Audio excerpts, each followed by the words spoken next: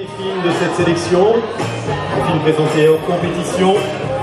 Il s'agit de La tête haute d'Emmanuel Verco, qui nous donnera le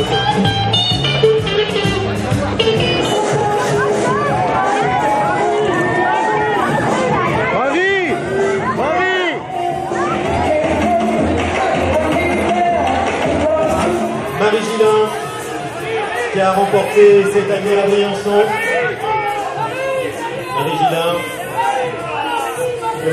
L'on avait vu terre dans les affinités électives ou le dernier harem, et que l'on a beaucoup de plaisir à retrouver ce soir.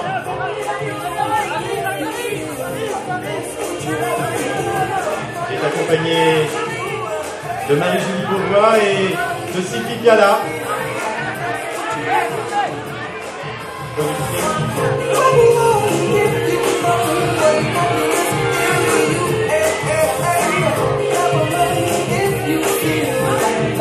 you want.